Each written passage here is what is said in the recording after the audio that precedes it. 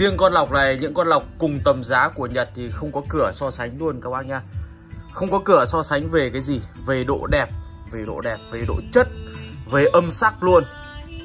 Đây là một con lọc của Hàn Quốc của hãng Eroica. Bề ngang là 42 Nó đẹp và nó chất nên là anh em đặt vào con âm ly màu trắng phải nhôm vẫn thấy nó được đúng không anh em? Đấy. Thường thì anh em đặt cùng màu Nhưng vì nó đẹp quá nên anh em đặt vào nhựa vẫn nhìn tốt luôn. Giá bán chỉ bán cho anh em chỉ 3 triệu rưỡi anh em nhá. Và nhấn mạnh cũng như là lưu ý cho anh em đây là phân khúc cao cấp của Lọc Hàn nhá. Đây là một con lọc chất lượng của Lọc Hàn Để anh em biết được nó định vị ở phân khúc nào. Hai đường vào, một đường xuất tín hiệu ra. Đôi môi đầy thương tia mắt giạt rào tuổi ngọc xuân. Có tiếng Hàn như khi anh em bấm thì nó sẽ có tiếng Anh ở bên trong này, Nên là anh em đều dùng được. Lọc này là lọc điện tử, nên là nó có 5 hệ nhạc của mình tự lưu từ đây. Và 5 hệ nhạc của cái lọc này nó tự lưu, Có nghĩa tổng là 10 kiểu. Nếu anh em cứ đếch biết lưu thì anh em dùng kiểu của lọc nó lưu sẵn, Thì anh em đã dùng chán chê.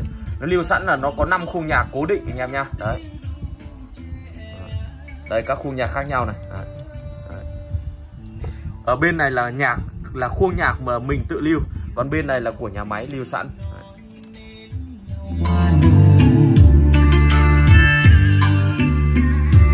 rằng gió thêm lần cuối xanh trao cho bầy em.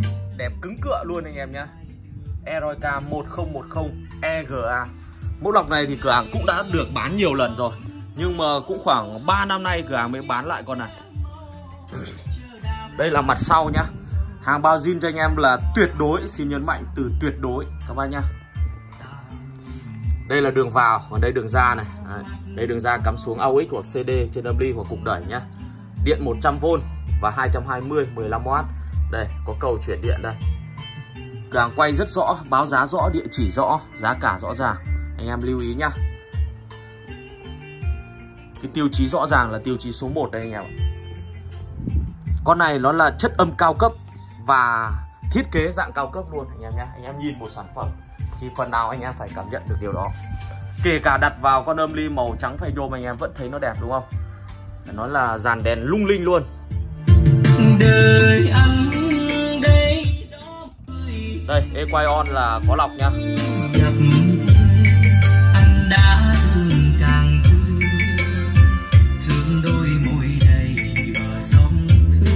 nhắc lại bán giá rẻ chỉ 3 triệu rưỡi giá tại cửa hàng. Xin cảm ơn.